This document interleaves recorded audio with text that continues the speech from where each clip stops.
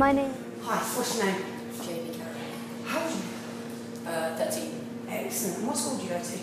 Beaumont. Oh, and what are you studying at the moment?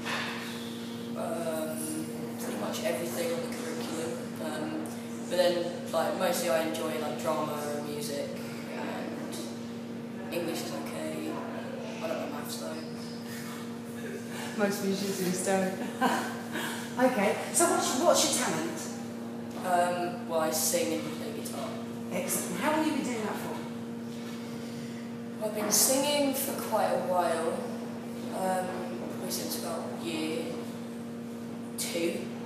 Okay. And then I've been playing guitar since the start of year seven, so two years. All right, brilliant. So are you self-taught, got tutor and all that sort of thing? Singing, I'm self-taught, but I'm in a, like I'm in my school choir and things like that. But whereas guitar, I've had a guitar teacher since year seven, and he's great. So. So what do you see yourself doing in 10 years? Well, being a rock star would be great. Um, yeah.